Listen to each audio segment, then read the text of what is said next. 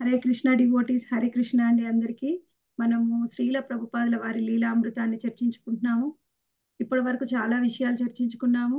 శ్రీల ప్రభుపాదుల వారు ఏ విధంగా ఇండియాకి వెళ్తారు యుఎస్ఏ నుంచి అనేది ఈ రోజు చర్చించుకుందాము. ఆ తరువాత జరగబోయే కథ ఏమిటి అనేది ఈ రోజు చూద్దాము. ముందుగా మనం ప్రేయర్స్ ప్రారంభించుకొని. ఓం జ్ఞాన తిమిరాంధస్య జ్ఞానాంజన శలాకయా. चक्षुरुन्मिलितं येन तस्मै श्रीगुरवे नमः। नमो ॐ विष्णुपादाय कृष्णप्रेष्ठाय भूतले। श्रीमते भक्तिवेदान्ता स्वामिन् इति नामिने। नमस्ते सरस्वती देवे, गौरवाणी प्रचारिणे। निर्विशेषा शून्यवादी पाश्चात्यदेशतारिणे जय श्रीकृष्णचैतन्य కృష్ణ చైతన్య ప్రభో నిత్యానంద శ్రీ అద్వైత గదాధర శ్రీవాసాది గౌరభక్త వృంద హరే కృష్ణ హరే కృష్ణ కృష్ణ కృష్ణ హరే హరే హరే రామ హరే రామ రామ రామ హరే హరే హరే కృష్ణ కృష్ణ కృష్ణ హరే హరే హరే రామ హరే రామ రామ రామ కూడా అయింది మనము లాస్ట్ వీక్ రెండు వారాల్లో పన్నెండో వారము మరియు పదమూడో వారంలో మొత్తం శ్రీల ప్రభుపాదుల వారి లీలామృతాన్ని ఒకసారి రీక్యాప్ చేసుకున్నాం. ఎందుకంటే చాలా మంది కొత్త డివోటీస్ వచ్చారు. మళ్ళీ మీ అందరూ తెలుసుకుంటారు అని రీక్యాప్ చేసుకున్నాము. లాస్ట్ వీక్ మనం ఎంతవరకు చర్చించుకున్నామంటే శ్రీల ప్రభుపాదుల వారు ఎన్నో ఇబ్బందులను ఎదుర్కొని హరే కృష్ణ మాతాజీ హరే కృష్ణ మాత మ్యాచ్లెస్ గిఫ్ట్ని ఓపెన్ మ్యాచ్లెస్ గిఫ్ట్ అనే ఆ, ప్రదేశంలో ఆయన మందిరాన్ని స్థాపిస్తారు. అంటే ఒక సెంటర్ని స్థాపిస్తారనమాట అక్కడికి వచ్చే భక్తులకి చాలా మందికి శ్రీల ప్రభుపాదుల వారు హరే కృష్ణ హరినామ దీక్షను కూడా ఇస్తారు. ఆ తరువాత ఆయన మౌంటైన్ మౌంటైన్ స్క్వేర్ పార్క్లో హరే కృష్ణ మహామంత్ర కీర్తన చేస్తారు. సామూహికంగా అందరి ముందు ఆ కీర్తన జరుగుతుంది. అది ఎంతో బాగా సక్సెస్ అవుతుంది అనమాట చాలా మంది ప్రతి ఆదివారం ఎప్పుడు వస్తుందా ఎప్పుడు ఆ కీర్తనలో పాల్గొందామని ఎదురు చూస్తూ ఉంటారు. అక్కడి నుంచి వాళ్ళందరూ కూడా మ్యాచ్ లిస్ట్ గిఫ్ట్ వచ్చి అక్కడనే మళ్ళీ ప్రభుపాల వారి క్లాస్ విని ఆ తర్వాత ప్రసాదం తీసుకొని వెళ్ళేవారు. ఈ విధంగా ఎంతో బాగా జరుగుతుంది. ఆ తరువాత శ్రీల ప్రభుపాదుల వారు రెండవసారి కూడా మళ్ళీ హరినామ దీక్షని ఇస్తారు. వాళ్ళ శిష్యులకి ఇద్దరికి వివాహం కూడా జరిపిస్తారనమాట ఆ తరువాత శ్రీల ప్రభుపాదుల వారు హరే కృష్ణ మహామంత్రాన్ని కీర్తిస్తూ దాన్ని రికార్డ్ చేస్తారు. ఆ రికార్డింగ్ తర్వాత దాన్ని ఎంతో అందంగా దాన్ని ఎక్స్ప్లెయిన్ కూడా చేస్తారనమాట ఆ తరువాత శ్రీల ప్రభుపాదుల వారు కి ఆరోగ్యం కొంచెం పాడవుతుంది. దానివల్ల ఆయన్ని హాస్పిటల్లో జాయిన్ చేస్తారు. అప్పుడు ప్రభుపాదుల వారు బ్రహ్మానంద ప్రభుని రిక్వెస్ట్ చేస్తారనమాట ఎలా అయినా నన్ను ఈ హాస్పిటల్లోంచి తీసుకొని వెళ్ళు నాకు ఇక్కడ ఉండాలని లేదు అని. వెంటనే ప్రభుపాదుల వారు ఇంటికి తీసుకొని వెళ్తారు. అది శాన్ ఫ్రాన్సిస్కో.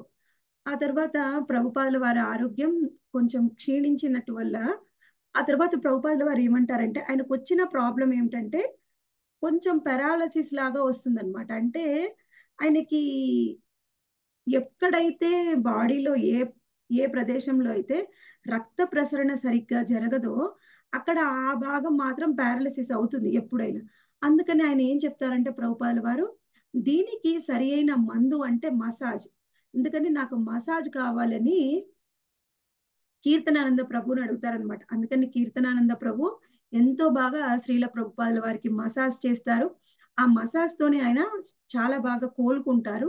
కానీ ప్రభుపాదుల వారు అనుకుంటారు అనమాట దీనికి సరి అయిన వైద్యం నేను తీసుకోవాలి. అది ఆయుర్వేద వైద్యమే. అది ఇక్కడ ఇక్కడ అమెరికాలో అది సాధ్యం కాదు కాబట్టి నేను ఇండియా వెళ్ళాలి అని నిర్ణయించుకుంటారు. ఎందుకంటే అక్కడి నుంచి ఎవరు ఇక్కడికి రావడానికి సిద్ధంగా లేరు. అలాంటప్పుడు ప్రభుపాదుల వారే వెళ్ళాలి. ఆ తర్వాత ఆయన వీసాని కూడా ఎన్నోసార్లు రెన్యూ చేసుకుంటారు. అందుకని ఒకసారి ఇండియాకి వెళ్ళి రావాలి అని నిర్ణయం చేసుకుంటారు. అయితే అప్పుడు ఆయన అడుగుతారనమాట మొరార్జీ దేశాయ్ తనకి టికెట్ పంపించమని తనతో పాటు కొంతమంది శిష్యులకు కూడా పంపమని అడిగితే ఆవిడ తిరస్కరిస్తారు. కేవలం ప్రభుపాదుల వారికి మాత్రమే టికెట్ ఇస్తారనమాట అలా ప్రభుపాదుల వారు ఆయనతో పాటు కీర్తనానంద ప్రభు ఇద్దరు కూడా ఇండియా వస్తారు. ఇండియా వచ్చిన తర్వాత ప్రభుపాదుల వారిని ఎవరు ఒక్కొక్కరు ఒక్కొక్క విధంగా రిసీవ్ చేసుకుంటారు. కానీ ప్రభుపాదుల వారి డిసైపుల్స్ మన ప్రభుపాదుల వారి గురు సోదరులు చాలా మంది శ్రీల ప్రభుపాదుల వారు చేసిన ఆయన ఎంతో బాగా ఆయన చేసిన ఈ ప్రీచింగ్ సక్సెస్ అయింది. ఎంతో మంది భక్తులు అయ్యారని తెలుసుకొని చాలా సంతోషిస్తారు. ఆ తర్వాత కూడా మళ్ళీ అమెరికా నుంచి కొంతమంది శిష్యులు ఇండియాకి వస్తారు. వాళ్ళందరికి కూడా ప్రభుపాల వారు అక్కడ సాంస్క్రిట్ నేర్చుకోమని కాలేజీలో జాయిన్ చేస్తారు. కానీ వాళ్ళందరూ కూడా ప్రభుపాల వారి సాంగత్యాన్ని కోరుకుంటారనమాట అలా ప్రభుపాల వారి సాంగత్యంలో ఉంటూ వాళ్ళు సంస్కృతాన్ని నేర్చుకుంటూ వాళ్ళకు తెలిసినంతలో అక్కడ ప్రచారం చేస్తూ ఉంటారు. అక్కడికి వచ్చాక తెలుస్తుంది ప్రభుపాదుల వారి జీవితం ఎలా ఉంటుంది అనేది వాళ్ళకి. ఎంత ఆ సింపుల్ జీవిత సాధారణ జీవితాన్ని ఆయన జీవిస్తున్నారు అని తెలుసుకుంటారు. ఆ తరువాత శ్రీల ప్రభుపాదుల వారు ఇండియాలో కూడా ఎంతో మంది మాయావాదులు ఉంటారనమాట వాళ్ళందరికీ కూడా వాళ్ళందరూ ఏ సిద్ధాంతం మీద ఆధారపడి వాళ్ళు భగవద్గీతని చెప్తున్నారు వాళ్ళ మూల సిద్ధాంతం మీదనే శ్రీల ప్రభుపాదులు వారు ప్రశ్నలు వేసేవారు అనమాట ఆ ప్రశ్నలకి ఎవరి దగ్గర కూడా సమాధానం అనేది ఉండేది కాదు. అలా ప్రభుపాదుల వారు ప్రచారం చేస్తూ ఉంటారు. ఆ విధంగా కొంత సమయానికి మళ్ళీ కెనడా తిరిగి వెళ్తారు. కెనడాలో ఆయన nineteen sixty eight August Madrid అనే ప్రదేశంలో ఆయన అక్కడ ప్రచారాన్ని కొనసాగిస్తూ ఉంటారు. కానీ శ్రీల ప్రభుపాదుల వారి మనసు మాత్రం ఎప్పుడు కూడా లండన్లో ఉంటుందన్నమాట. ఆయనకి లండన్ వెళ్ళి అక్కడ ప్రచారం చేయాలి అని ఉంది. ఎందుకంటే అంతకుముందు ప్రభుపాదుల వారు ఉన్నప్పుడు అక్కడిని మన భారతదేశాన్ని ఎవరు పరిపాలిస్తున్నారండి? ఆంగ్లేయులు. అక్కడ అందరికీ కూడా ఏమని ఉండేది కోరిక అంటే లండన్ వెళ్ళి అక్కడ బారిస్టర్ చదవాలి అని ఎక్కువ మంది కోరిక ఉండేది. వాళ్ళ తల్లి గారి కోరిక కూడా అదే అనమాట అటువంటి లండన్లో ప్రచారాన్ని చెయ్యాలి అని ప్రభుపాదుల వారి కోరిక. అందుకని ప్రభుపాదుల వారు ఏం చేస్తారంటే ఆయన ఒక్కరే అన్ని ప్రదేశాలకి వెళ్ళలేరు కదండి. అందుకనే ఆయన శిష్యులని సిద్ధం చేశారు. అలాంటి శిష్యులలో ముగ్గురు గృహస్థ జంటలు ఉన్నారు. వాళ్ళ ముగ్గురిని కూడా లండన్ పంపిస్తారు. వాళ్ళు ఎవరంటే శ్యామ్ సుందర్ ప్రభు మరియు మాలతి మాతాజీ. తరువాత ముకుందదాస్ ప్రభుజీ మరియు జానకి మాతాజీ గురుదాస్ ప్రభుజీ మరియు యమునా మాతాజీ. వీళ్ళ ముగ్గురిని కూడా లండన్ పంపిస్తారు. అక్కడ ప్రచారం చేయమని వారు వెళ్తారు. పాపం ఎన్నో ఇబ్బందులను ఎదుర్కొంటారనమాట అక్కడ. ఎందుకంటే అక్కడ వాళ్ళకి ఎవరు తెలియదు వాళ్ళ దగ్గర సరి అయిన డబ్బు లేదు. వాళ్ళు ఏమి వృత్తి వ్యాపారాలు చేయడం లేదు. అందుకని అందరూ కలిసి ఒక దగ్గర ఉండడానికి ఉండేది కాదు. అందుకని వాళ్ళు ఎక్కడ వీలైతే అక్కడే ఉంటూ వీలైనంతగా వాళ్ళు ప్రచారాన్ని కొనసాగిస్తూ ఉన్నారనమాట అయితే అంతకు ముందే లండన్కి శ్రీల ప్రభుపాదుల వారి గురుదేవులైన భక్తి సిద్ధాంత సరస్వతి ఠాకూర్లు కూడా ముగ్గురు బ్రహ్మచారులని పంపిస్తారు అక్కడికి. అయితే ఆ ముగ్గురు బ్రహ్మచారుల్లో కూడా వాళ్ళు ఎక్కువగా సక్సెస్ కాలేకపోతారు. ఎందుకంటే వాళ్ళు ఏం చేస్తారంటే వాళ్ళు ముగ్గురు కూడా బ్రహ్మచారులు. వాళ్ళు ఎక్కువగా క్లాస్ పీపుల్ని ఎన్నుకొని వాళ్ళకు మాత్రం ప్రచారం చేస్తూ ఉంటారు. అయితే వాళ్ళ గురువు గారు కొన్ని ఆదేశాలు ఇచ్చారు ఏమని ఇచ్చారంటే మన ఇండియాలో లాగా కాదు అక్కడ ఎవరికి కూడా ఎక్కువసేపు లెక్చర్ ఇవ్వకూడదు అంటే ఎక్కువసేపు క్లాస్ ఉండకూడదు. ఉంటే వాళ్ళు ఎక్కువసేపు అంత శ్రద్ధ పెట్టలేరు అని. అలాంటి ఎన్నో సూచనలు ఇస్తారు. కానీ అటువంటి సూచనల్ని అందరూ పాటించలేకపోతారు. కానీ శ్రీల ప్రభుపాదుల వారు మాత్రం వాళ్ళ గురుదేవులకి ఏం చెప్పారో అది తూచా తప్పకుండా పాటించారనమాట ఆ విధంగా ప్రభుపాదుల వారు ఎంతో సక్సెస్ అయ్యారు. అయితే ఇప్పుడు ప్రభుపాదుల వారు అక్కడికి వెళ్ళక ముందే అందరికీ తన శిష్యులందరికీ కూడా ట్రైనింగ్ ఇచ్చారనమాట ఇప్పుడు మనము ఎవరైనా సరే ప్రచారం చెయ్యాలి అంటే ముందుగా వాళ్ళ భావన ఎలా ఉండాలి? అది మనము లెక్చర్ ఇస్తున్నా అంటే క్లాస్ చెప్తున్నా కానీ కీర్తన చేస్తూ ఉన్నా కానీ వాళ్ళ భావన ఎలా ఉండాలి అంటే ఇప్పుడు మనం కీర్తన చేస్తూ ఉంటే నేను ఎంతో అందంగా పాడుతున్నాను అందమైన గొంతు నాది ఎంతో అందమైన గొంతుతో నేను పాడి నేను చాలా బాగా పాడాను అని అందరితోనే అనిపించుకోవాలి అనే భావన ఉండకూడదు.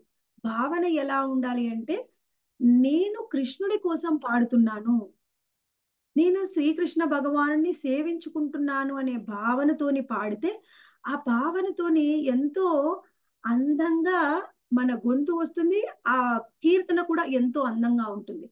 ఆ విధంగా అటువంటి భావంతో కీర్తన చెయ్యాలి అని శ్రీల ప్రభుపాదుల వారు తన శిష్యులకి చెప్పారు. ఆ తర్వాత తన శిష్యులకి బోధించారు. అసలు ఎలా మృదంగాన్ని వాయించాలి? మృదంగా వాయించడం నేర్పించి ఎలా దాన్ని ఒక బీటులో ఎలా వాయించాలి అనేది మృదంగా నేర్పించారు. ఆ తర్వాత నేర్పించారు బోగా తయారు చేయడం. అంటే భగవంతుడికి భోగ సమర్పించాలంటే ముందు వంట చేయాలి కదండి.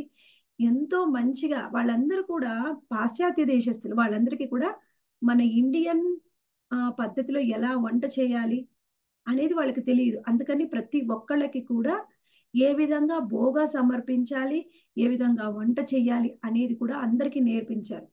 ఆ తర్వాత శ్రీల ప్రభుపాదుల వారు ఇప్పటి వరకు కూడా వాళ్ళందరూ చాలా కొత్త వాళ్ళు కాబట్టి డీటీ వర్షిప్ గురించి ఎక్కువగా వాళ్ళకి చెప్పలేదు. ఇప్పుడు వీళ్ళందరికీ డీటీ వర్షిప్ చేసేవారు.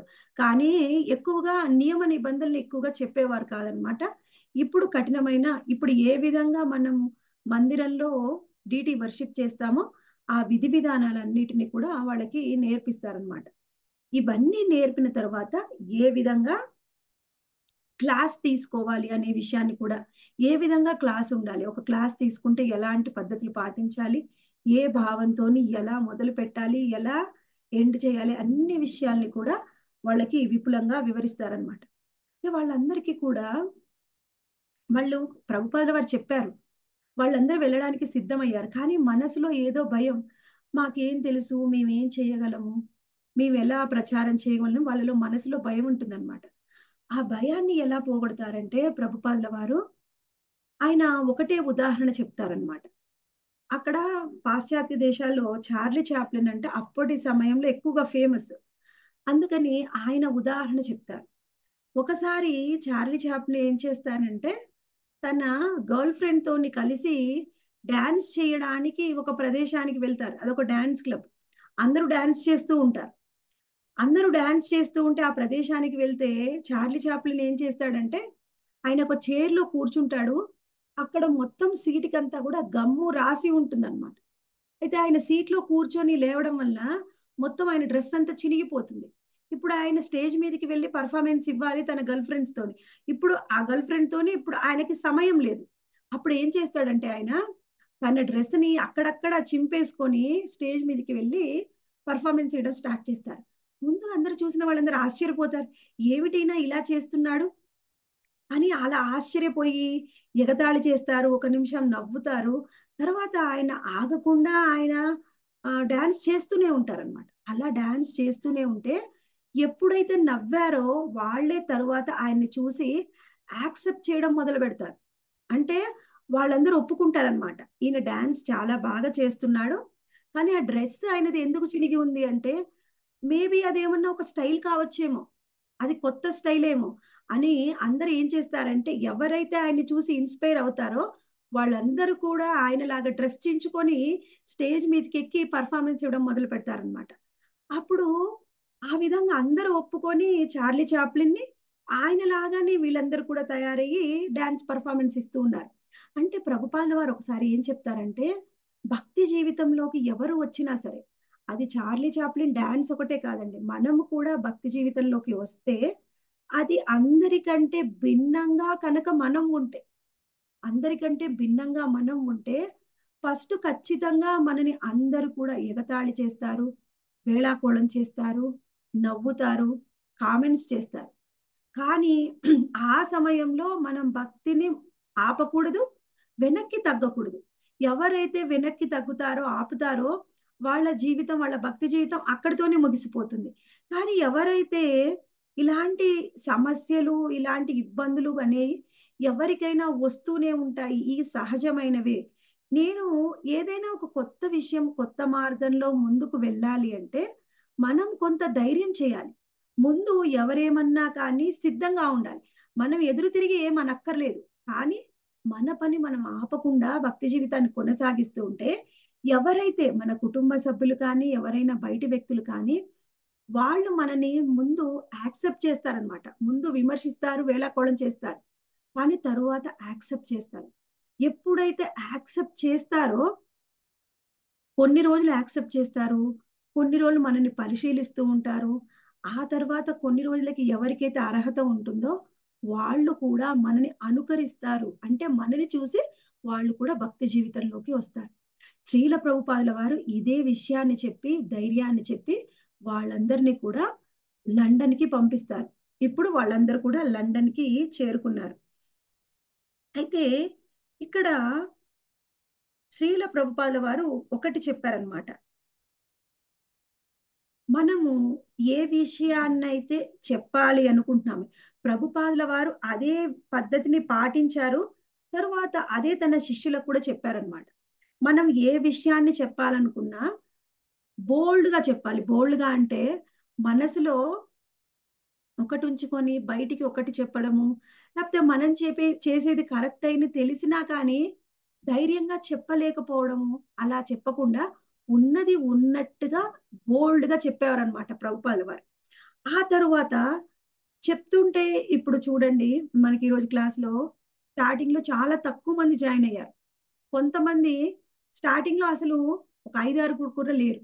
కానీ ఎలాంటి సిచ్యువేషన్లో క్లాసులో ఎవరు ఉన్నా లేకపోయినా మనని ఎవరైనా ఒప్పుకున్నా ఒప్పుకోకపోయినా మనని నవ్వుతున్నా వేలాకోలం చేస్తున్నా మనము చేసే భగవంతుడి యొక్క సేవలో ఏ విధమైన ఉత్సాహం కూడా తగ్గకూడదు. ఉత్సాహం అనేది ఎప్పుడు అలానే ఉండాలి. ఎలా అంటే మనని చూసి వంద మంది మెచ్చుకొని ఫాలో అయ్యి ఆ మనని చూసి అనుకరిస్తూ వాళ్ళందరూ భక్తి జీవితంలోకి వస్తే మనం ఎంత ఉత్సాహంతో ఉంటామో మనం ఎంతో ప్రయత్నం చేసినా ఏ ఒక్కరో ఇద్దరు వచ్చినా అసలు ఒక్కరు కూడా రాకపోయినా మన ఉత్సాహంలో ఎటువంటి మార్పు ఉండకూడదు. అంతే ఉత్సాహంతోని మనం చెప్పాలి. అని ప్రభుపాల వారు అదే ఆచరించారు. తన శిష్యులకు కూడా చెప్పారనమాట ధైర్యం కోల్పోకూడదు ఉత్సాహాన్ని కోల్పోకూడదు. ఆ తరువాత మనము అదే ధైర్యంతో ఉత్సాహంతో మన సేవ అయినా అలానే ఉండాలి మన ప్రీచింగ్ అయినా అలానే ఉండాలి అని ప్రభుపాల వారు ఎంతో ధైర్యం చెప్పారనమాట ఆ తర్వాత వాళ్ళందరూ కూడా వెళ్ళిన తర్వాత శ్రీల ప్రభుపాదుల వారు బోస్టన్ వెళ్తారనమాట ఇది కూడా అన్ని ఇవన్నీ కూడా ఆ యునైటెడ్ స్టేట్స్లో భాగం బోస్టన్ కూడా. బోస్టన్కి వెళ్ళి అక్కడ మసాసూచెట్స్ అనే యూనివర్సిటీ ఉంటుంది. ఆ యూనివర్సిటీలో శ్రీల ప్రభుపాదుల వారు ప్రీచింగ్ చేయడానికి వెళ్తారు. ఆయనకు అక్కడ అవకాశం వస్తుంది. ఎలా అవకాశం వస్తుంది అంటే ఆ ప్రభుపాదుల వారి యొక్క ఒక శిష్యుడు ఉన్నారనమాట ఆయన పేరు ఏమిటి అంటే శ్రీల ప్రభుపాదుల వారు అలెన్ గిన్స్బర్గ్. అలెన్ గిన్స్బర్గ్ అనే ఆయన కూడా ఒక అంటే ఇప్పుడు చూడండి పాపులర్ మ్యూజిక్ బ్యాండ్స్ అనేవి ఉంటాయి అక్కడ. అంటే మ్యూజిక్ బ్యాండ్స్ అంటే ఏమిటంటే ఇప్పుడు మనం చూడండి ఇక్కడ మన భారతదేశంలో సంగీత విద్వాంసులు అని అంటాం కదా వాళ్ళకంటూ ఒక బృందం ఉంటుంది. వాళ్ళకు ఆ బృందంలో ఉన్న వాళ్ళందరికీ కూడా అన్ని రకాల సంగీత వాయిద్య పరికరాల్ని వాయించడం వస్తుంది. వాళ్ళు అన్ని రకాల పాటల్ని పాడే వాళ్ళు ఉంటారు పాట పాడుతూ నృత్యం చేసే వాళ్ళు ఉంటారు వాళ్ళందరినీ కలిపి ఒక బ్యాండ్ అంటారు అనమాట అలాంటి ఎన్నో బ్యాండ్స్ ఎక్కువగా ఫేమస్గా ఉంటాయి ఈ పాశ్చాత్య దేశాల్లో. అటువంటి ఫేమస్ బ్యాండ్కి ఆయన నాయకుడు ఎలెన్ గిన్స్బర్గ్. ఆయన ఏమంటారంటే ఎల్ఎస్డి గురు అంటారు. అంటే ఆయన ఎల్ఎస్డి తీసుకునేవారు. ఎల్ఎస్డి ఏమిటి అంటే మత్తు పదార్థాలు. మత్తు పదార్థాన్ని స్వీకరించేవారు. ఆయన ఎంతో పాశ్చాత్య సంగీతం అంటే ఎంతో ఇష్టం ఆయనకి. అందుకని ఆయన సంగీతం ద్వారా ఎక్కువగా ప్రచారం చేస్తూ ఉండేవారు. ఎప్పుడైతే ప్రభుపాదుల వారిని కలుసుకున్నారో ఆయన ప్రభుపాదుల వారిని ముందుగా ఒప్పుకోలేదండి. ఆయనని ఎన్నో విధాలుగా పరి పరిశీలించి ఆ ఆ తర్వాత ప్రభుపాదుల వారు చెప్పే ఎన్నో క్లాసులు విని అప్పుడు ప్రభుపాదుల వారిని ఒప్పుకొని ఆయన చెప్పే సిద్ధాంతం సరి అయినదని కృష్ణ చైతన్య మార్గాన్ని ఎన్నో టీవీ ఛానల్స్ ద్వారా ఎన్నో లైవ్ టీవీ షోస్ ద్వారా ఆయన ప్రచారం చేస్తూ ఉన్నారనమాట ఆ విధంగా ఒకసారి ఎలెన్ గిన్స్బర్గ్ ద్వారా శ్రీల ప్రభుపాదుల వారు మసాచ్యూసెట్స్ యూనివర్సిటీకి వెళ్తారు. అది ఒక ఫేమస్ ఎంఐటి కాలేజ్ అనమాట ఎంఐటి అంటే మసాసూసెట్స్ ఇన్స్టిట్యూట్ ఆఫ్ టెక్నాలజీ ఆ అక్కడికి ఎప్పుడు వెళ్తారో అక్కడ ప్రీచింగ్ చేస్తారు. అక్కడ ప్రీచింగ్ చేసినప్పుడు స్త్రీల ప్రభుపాదుల వారికి తెలుసు. ఇక్కడ ఉన్నది అందరూ కూడా యంగ్స్టర్స్ అంటే ఎక్కువగా యువకులు ఉన్నారు. వీళ్ళకి ఇప్పుడు నేను ప్రచారం చేయడం కంటే కూడా కీర్తన చేస్తే చాలా బాగుంటుంది అని చెప్పి ఆయనతోనే ఎలెన్ గిన్స్బర్గ్ తోనే ఆయన అక్కడ కీర్తన చేపిస్తారనమాట ఆ కీర్తన ఆగకుండా గంట సేపు సాగుతుంది. అక్కడ ఉన్న యువకులు రెండు వేల మంది యువకులు ఉంటారు. అందరు కూడా ఎంతో సంతోషంగా కీర్తనలో పాల్గొంటారనమాట ఆ కీర్తన ఎంత బాగా జరుగుతుంది అంటే పిల్లలందరూ కూడా ఎంతో సంతోషించి ఇన్వాల్వ్ అయ్యి అక్కడ కీర్తనలో పార్టిసిపేట్ చేస్తారు. ఆ తరువాత ఆ శ్రీల ప్రభుపాదుల వారు ఏం చేస్తారంటే సింపుల్గా కొంచెం సేపు క్లాస్ ఇచ్చి ఆ తర్వాత క్వశ్చన్ అండ్ ఆన్సర్స్ సెషన్ పెడతారనమాట ఒక్కొక్కరు వాళ్ళకి ఎటువంటి అనుమానాలు సందేహాలు ఉన్నాయో అన్ని రకాల సందేహాల్ని కూడా శ్రీల ప్రభుపాదుల వారు నివృత్తి చేస్తారు. ఇక్కడ చూడండి ప్రభుపాదుల వారు ఎంతో గొప్ప గురువు. ఆయన ఎంతో బాగా కీర్తన చేయగలరు. అక్కడే ఉన్నా కానీ ఆయన తన శిష్యుడికి అవకాశం ఇచ్చి ఆయన్ని చేయమన్నారు. అంటే ప్రభుపాద వారు ఎటువంటి ప్రదేశంలో కూడా నేను సీనియర్ని నేను గురువుని నేనే చేస్తాను అనే భావన ఉండేవారు కాదు. ఆయన ఏ విధంగా ఉండేదంటే ప్రభుపాల వారు మూడు ఇప్పుడు పరిస్థితి ఎలా ఉంది? ఇక్కడ ఉన్నవారు ఎలాంటి వారు? వాళ్ళకి ఎవరు చెప్తే ఎంత బాగా అర్థమవుతుంది? ఎంత బాగా రిసీవ్ చేసుకుంటారు? ఆయన ఉద్దేశము కృష్ణ చైతన్యాన్ని ప్రచారం చేయడం. అంతేకాని నేను చేస్తున్నానా? నా శిష్యుడు చేస్తున్నారా? ఎవరు చేస్తున్నారు? క్రెడిట్ ఎవరికి వెళ్తుంది? అనే భావన లేదనమాట. Complete pure soul. అంటే ఆయన మనసులో ఒకటే ఒక ఆలోచన ఏమిటి అంటే నేను కృష్ణ భక్తిని ప్రచారం చేయాలి. అదొక్కటే మనసులో ఉండేది. ఆ విధంగా ఆ రోజు ఎంతో బాగా చాలా బాగా సక్సెస్ అవుతుంది. రెండు వేల మందికి ఒకే సమయంలో కీర్తన చేస్తూ వాళ్ళందరినీ కూడా ప్రభుపాదుల వారు తన క్లాస్ ద్వారా తన క్వశ్చన్ అండ్ ఆన్సర్ సెషన్ ద్వారా అందరి మనసుల్ని ఆకట్టుకుంటారు. ఆ విషయము అక్కడ ఉన్న అన్ని న్యూస్ పేపర్ ఛానల్స్లో కూడా వచ్చేస్తుంది. ఈ విధంగా మసాచుసెట్స్ యూనివర్సిటీలో హరే కృష్ణ వాళ్ళు వచ్చి ప్రచారం చేశారు. వాళ్ళు ఎంతో బాగా చెప్తూ ఉన్నారు. ఏం చెప్తున్నారు అంటే వాళ్ళది ఏమిటి? వాళ్ళ నినాదం అంటే ప్రతి ఒక్కళ్ళు కూడా హరే కృష్ణ మహామంత్రాన్ని జపించాలి అని చెప్తున్నారు. ఇంకొకటి ఏం చెప్తారంటే మనము ఒకటే విషయాన్ని ఖచ్చితంగా చెప్పాలి. ఎలా అంటే మనం చెప్పేటప్పుడు ఏ విధమైన భావనతోని ఎంత ధైర్యంగా ఉన్నది ఉన్నట్టు చెప్తామో అది కూడా వాళ్ళు అలానే రిసీవ్ చేసుకుంటారు. మనమే నీళ్ళు నవ్వులుతూ చిన్నగా వాళ్ళు ఒప్పుకుంటారో లేదో ఏమనుకుంటారో అనే భావనతోని కనుక మనమే చెప్తే ఆ తీసుకునే వాళ్ళకు కూడా ఆ విధంగానే ఉంటుంది. మన భావన ఎలా ఉంటే ఆ తీసుకునే వాళ్ళ భావన కూడా అలానే ఉంటుంది అని చెప్తున్నారనమాట అయితే అలెన్ గిల్స్బర్గ్ ఒకసారి అడుగుతారనమాట ఏమిటి అంటే ఇప్పుడు మీరు కృష్ణుణ్ణి నమ్మారు నేను నమ్మాను. కానీ అందరు కృష్ణుణ్ణి నమ్మాలి అని ఎక్కడ ఏమైనా రూల్ ఉందా? అందరూ మన మార్గంలోని ఎలా ప్రయాణం చేస్తారు? ఎలా వాళ్ళని మనము ఒప్పించగలము? ఇదే మార్గంలో ప్రయాణం చెయ్యమని అంటే ప్రభుపాదుల వారు ఒకటే మాట అంటారనమాట నిజమే నువ్వు చెప్పింది. నిజమే. ఎన్నో మార్గాలు ఉండొచ్చు. ఇప్పుడు మనం ఆ సమయంలో కూడా పాశ్చాత్య దేశాల్లో ఇండియా నుంచి ఎంతో మంది స్వామీజీలు వచ్చి వాళ్ళకి ఇష్టమైన ధర్మాన్ని ఇష్టమైన సిద్ధాంతాలని ప్రచారం చేస్తూ ఉన్నారు. మరి ఎందుకు కృష్ణుడినే నమ్మాలి అంటే ప్రభుపాదుల వారు ఒకటే మాట చెప్తారనమాట ఎందుకంటే కృష్ణుడే దేవాది దేవుడు. అన్నీ కూడా ఆయన చుట్టూనే తిరుగుతూ ఉంటాయి ఆయనే మూలం. ఆ విషయము అది సత్యము. ఎవరు తెలుసుకున్నా ఎవరు ఫాలో అయినా కాకపోయినా అది సత్యము. మనము సత్యాన్ని ఉన్నది ఉన్నట్టుగా చెబితే తీసుకునే వాళ్ళు తీసుకుంటారు లేకపోతే అది వాళ్ళ ఇష్టము. ఇప్పుడు ఎవరో దాన్ని మెచ్చుకుంటారో లేదో ఎవరో ఫాలో అవుతారో లేదో అని వాళ్ళ కోసం మనము చెప్పకూడదు అని చెప్తారనమాట ఇంకొకటి శ్రీల ప్రభుపాదుల వారు ఈ విషయాన్ని ఇక్కడ ఏం జరిగిందో మొత్తము కూడా శ్రీల ప్రభుపాల వారు మిగిలిన సెంటర్స్కి. ఇప్పుడు ఇది జరిగింది ఎక్కడ జరిగిందండి? ఇదంతా కూడా లండన్ ఇదంతా కూడా బోస్టన్లో జరిగింది. ఈ విషయాన్ని లాస్ ఏంజల్స్ వాళ్ళకి చెప్పేవాళ్ళు. ఆ లాస్ ఏంజల్స్ వాళ్ళు ఏ విధంగా సక్సెస్ అయ్యారో ఆ విషయాన్ని లండన్లో ఉన్న డివోటీస్కి చెప్పేవారు. ఈ విషయాలన్నిటికీ ఇండియాలో ఉన్న మొరార్జీ దేశాలకి చెప్పేవారు. అలా ఒకరు సాధించిన సక్సెస్ని ఇంకొకరితో పంచుకునేవారు శ్రీల ప్రభుపాల వారు. ఇప్పుడు చూడండి మనం కూడా ఏమిటి? ఇంతమంది మేము మనం అందరం భక్తులం అందరం కలిసి చర్చించుకుంటూ ఉన్నాం. ఇప్పుడు చర్చించుకుంటూ ఉంటే ఎవరైనా ఒక భక్తురాలు మంచిగా పాట పాడినా లేకపోతే ఎవరైనా సరే నేను శిక్షా ప్రోగ్రామ్లో పార్టిసిపేట్ చేశాను మాతాజీ ఇప్పుడు నాలుగు మాలలు నేను జపం చేస్తున్నాను అని ఎవరైనా చెప్పారనుకోండి అనిపిస్తుంది వేరే వాళ్ళకి అయ్యో నేను ఇప్పటి వరకు ఒకటే మాల చేస్తున్నానే ఆ మాతాజీ నాతో పాటే ప్రయాణం ప్రారంభించింది నాలుగు చేస్తుంది. నేను చెయ్యాలి అనే మనకి ఇన్స్పిరేషన్ వస్తుంది. అంటే మనం అందరం కూడా ఇన్స్పైర్ భక్తులు అంటే ఏమిటి? భక్తుల సాంగత్యం అంటే ఏమిటంటే ఇన్స్పిరేషన్. పోటీ కాదండి. పోటీతోని మనం ఒకరిని అనుకరించకూడదు కానీ ఒకరిని చూసి ఇన్స్పైర్ అవ్వాలి. ఆ విధంగా భక్తులు ఒకరిలో వారిలోనే వారు ఇన్స్పైర్ అయ్యే విధంగా శ్రీల ప్రభుపాదుల వారు వాళ్ళందరినీ కూడా ముందుకు తీసుకుని వెళ్ళేవారు. అయితే ఈ విషయం అన్ని కూడా ఆ శ్రీల ప్రభుపాల వారు ఒకటే చెప్పేవారనమాట ఆయన ఏం చెప్పారో అది యాజ్ ఇట్ ఈజ్గా అక్కడ ఉన్న మ్యాగజైన్స్ అన్నిట్లో కూడా ప్రింట్ అవుతుంది. ఎందుకంటే ప్రభుపాద వారు అప్పటికే ఈ హరే కృష్ణ అది మూమెంట్ తోని మళ్ళీ కొంతమంది ఇప్పుడు ఎలన్ గిన్స్బర్గ్ లాంటి వాళ్ళు చేసే ప్రచారంతోని కొంత ఫేమస్ అయ్యారు.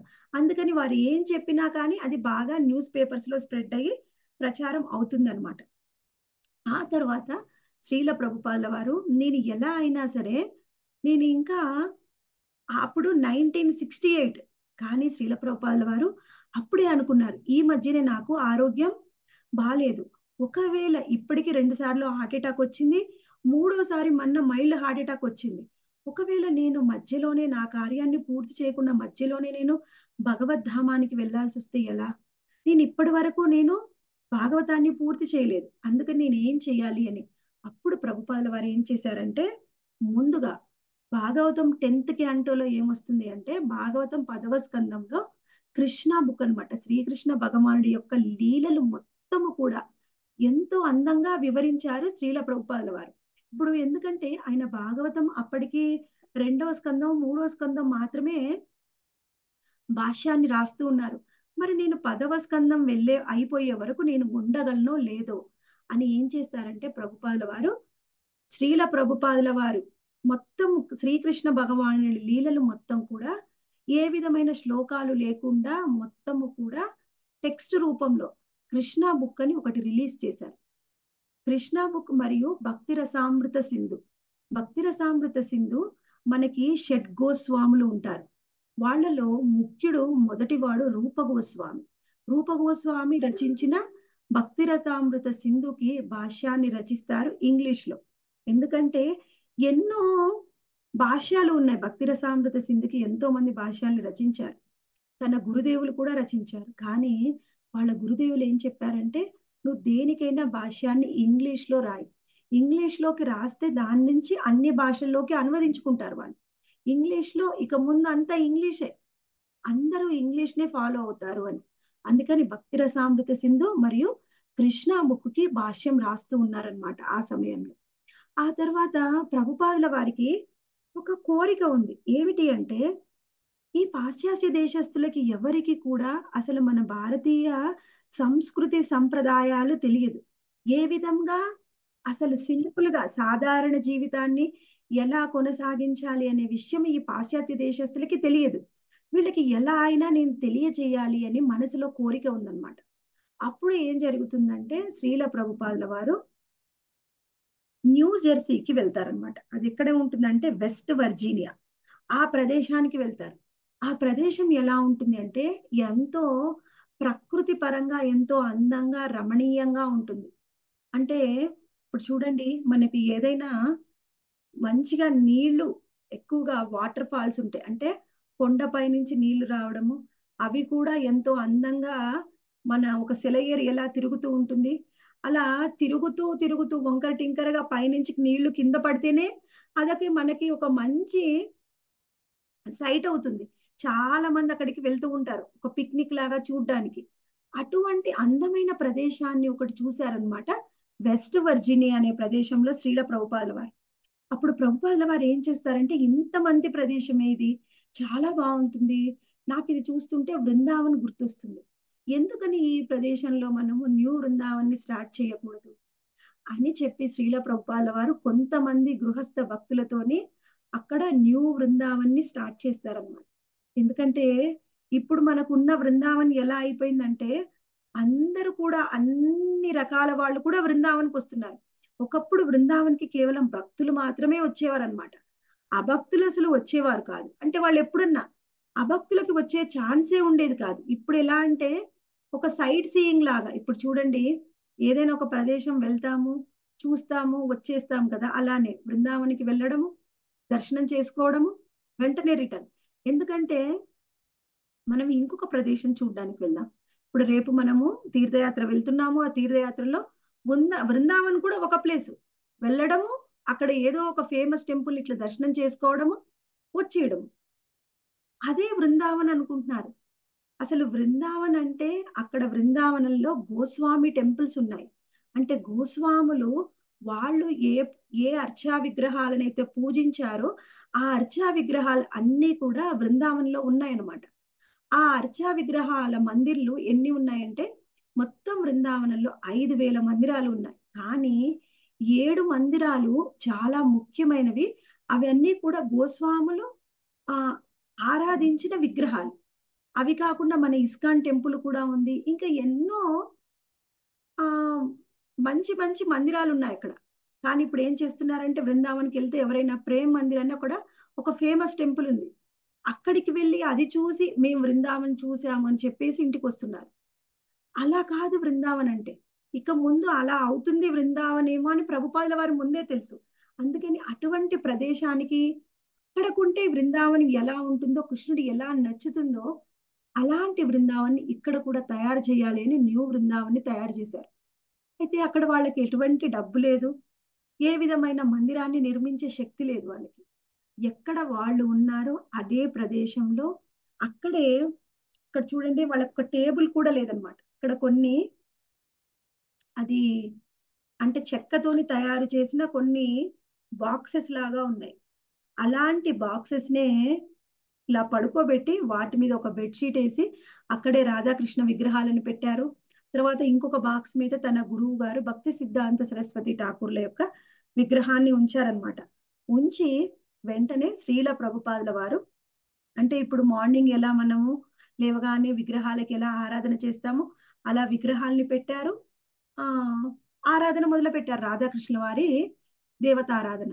ఇప్పుడు దేవతారాధన అంటే ఏమిటి? మనం పొద్దున్నే దేవత అర్చన చేస్తాం కదా ఉదయం పూజ చేసుకుంటాం కదా.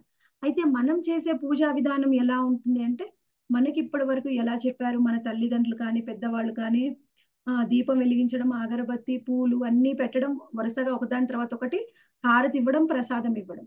అయితే దేని తర్వాత ఎలా చేయాలి? దానికి అనేది ఒక అర్చా విధి విధానం అనేది ఉందన్నమాట.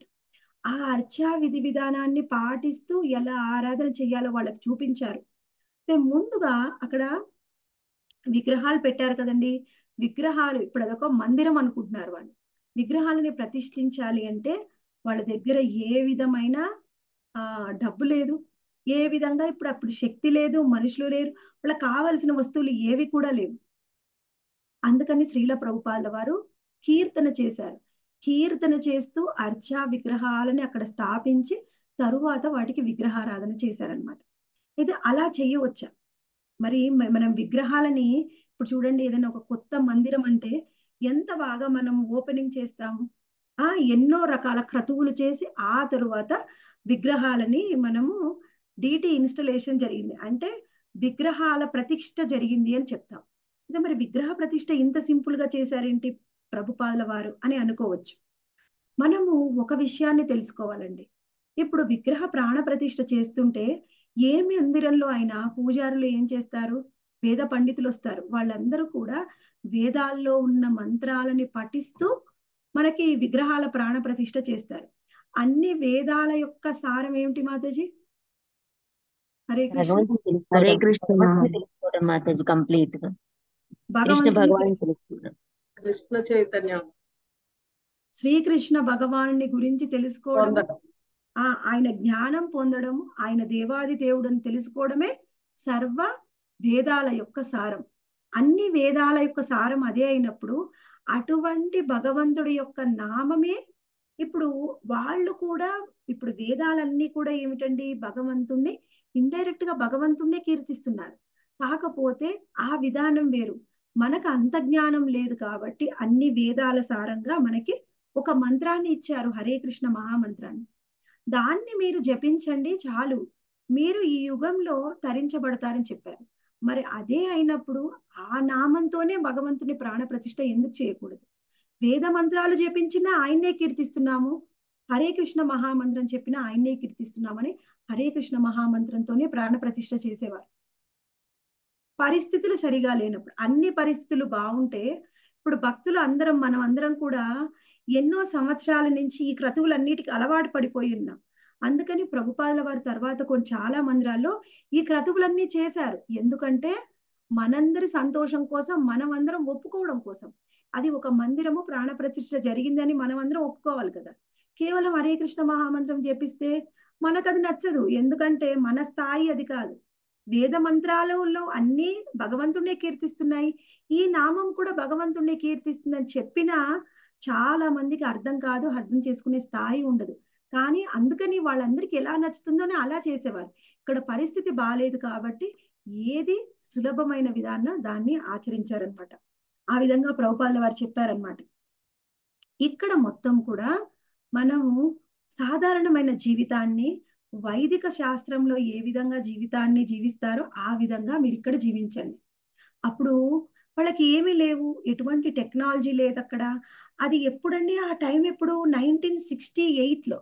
సిక్స్టీ ఎయిట్ తర్వాత ఒక ఒకటి రెండు సంవత్సరాల్లో అదే సమయంలో అనమాట అక్కడ వాళ్ళకి ఏమీ లేదు ధనం లేదు ట్రాన్స్పోర్టేషన్ లేదు అంటే అక్కడి నుంచి వేరే ప్రదేశానికి వెళ్ళాలి అంటే వాళ్ళకి వెహికల్స్ ఉండాలి కదా. అవన్నీ ఎక్కువగా వాళ్ళకి లేవు. మరి వాళ్ళు అక్కడ ఎలా జీవించాలి? అందుకని చెప్పారు ప్రభుపాల వారు. మీరే పంటలు పండించుకోండి మీరే వాటిని ఉపయోగించుకోండి. మీరే పండించుకోండి మీరే ఉపయోగించుకోండి. అలా ప్రభుజీలందరూ కూడా ఉదయం వాళ్ళ ఉదయం సాధన మంగళహారతి జపము భగవద్గీత భాగవతం క్లాస్ అయిపోయిన తర్వాత ప్రసాదం తీసుకొని అందరు కూడా పొలం పనులకి వెళ్ళాలి.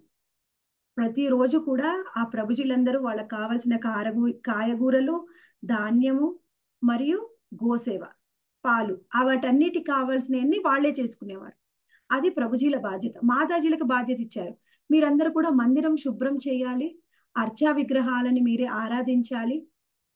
టైం టు టైం అర్చా విగ్రహాలని ఆరాధించాలి. ఆ తరువాత మళ్ళీ వంట చేసి భోగా సమర్పించాలి భగవంతుడికి. పిల్లల్ని చూసుకోవాలి. ఆ తర్వాత చెప్పిన ముఖ్యమైన ఇన్స్ట్రక్షన్ ఏమిటి అంటే వెన్న తయారు చేయాలి. వెన్న తయారు చేసి దానితోని నెయ్యి తయారు చేయాలి. ప్రభుపాల వారు స్త్రీలకు ఉండాల్సిన ముఖ్యమైన బాధ్యతల్లో ప్రతిసారి కూడా చెప్తూ ఉంటారు. వెన్న తయారు చేయండి తరువాత ఆ వెన్నతోని నెయ్యి తయారు చేయండి. వెన్నని పిల్లలకి భగవంతుడికి సమర్పించి పిల్లలకి ఇవ్వండి. ఆ తర్వాత నెయ్యిని కూడా వంటలో వాడండి. ఎన్నిసార్లు పదే పదే నెయ్యి మీరే తయారు చేసుకోండి అని చెప్తారు. కానీ ఇప్పుడు మనం ఎవ్వరం కూడా అది ఫాలో అవ్వట్లేదు. మనకి వెన్న లేదు నెయ్యి లేదు. అలా అయిపోయింది ఇప్పుడు మన పరిస్థితి. కానీ ప్రభుపాల వారు ఎందుకంటే మనకి ఆరోగ్యం అనేది ఎందులో ఉంటేదో అదే చెప్పేవారు ప్రభుపాల వారు. ఆవు నెయ్యిలో ఎంతో ఆరోగ్యం ఉంది. కానీ ఆ విషయం ఇప్పుడు మనకి ఎవ్వరికీ అర్థం కావడం లేదు. మనం ఎవరూ ఆచరించలేకపోతున్నాం. ఆ విధంగా మాతాజులకి కొన్ని బాధ్యతలు ఇచ్చారు. వాళ్ళు ఎంతో అందంగా అండి. న్యూ బృందావన్ వీడియోస్ కూడా మీకు ఆన్లైన్లో దొరుకుతాయి. ఏమన్నా ఉంటే చూడండి. అసలు ఎంత అందంగా పూలను పెంచుతారో వాళ్ళు. ఆ పూలతోని మాలలు తయారు చేసి భగవంతుడికి సమర్పిస్తూ ఉంటారు. ఆ న్యూ బృందావన్ వాళ్ళ లైఫే చాలా అందంగా ఉంటుంది. వీలైతే మనం ఎప్పుడైనా చూద్దాం. అయితే ఇక్కడ మనము ఈ విధమైన సింపుల్ లైఫ్ స్టైల్ ఉండడం వల్ల ఏమవుతుంది అంటే మన భక్తికి ఎక్కువగా సమయం దొరుకుతుంది మనకి. ఇప్పుడు చూడండి మనము హడావిడి లైఫ్లో మార్నింగ్ నుంచి నైట్ వరకు కూడా ఎప్పుడు మన హడావిడి జాబులు చేస్తూ ఉంటే భక్తి జీవితానికి సమయం ఉండదు. అందుకే కదండి ఇప్పుడు చాలా మందికి వాళ్ళు కూడా భక్తి జీవితంలో పురోగతి చెందాలి అని వాళ్ళు కూడా భక్తులు కృష్ణ భక్తులు కావాలని కోరిక చాలా మందికి ఉంటుంది. కానీ చాలా మంది కంప్లైంట్ ఏమిటి? మాకు టైం లేదు. అందుకనే ప్రభుపాల వారు చెప్తున్నారు. ఇటువంటి జీవితంలో మీకు ఎక్కువగా టైం ఉంటుంది. తరువాత వాళ్ళకి చెప్తారనమాట ఇంకొక ఇన్స్ట్రక్షన్ ఏమిటి అంటే బృందావనంలో గోస్వామి టెంపుల్స్ ఏముంటాయో అవన్నీ కూడా మీరు ఇక్కడ ఆ మందిరాలన్నింటినీ కూడా ఇక్కడ ప్రతిష్ఠించ ప్రతిష్ఠించండి. అన్ని మందిరాలు ఈ న్యూ బృందావనంలో కూడా ఉండాలి అని. అందులో ముఖ్యమైన మందిరాలు ఏమిటంటే రాధా మదన్ మోహన్ మందిర్ రాధా గోపీనాథ్ రాధా గోవింద్ రాధా గోకులానంద్ రాధా దామోదర్ రాధా రమణ్.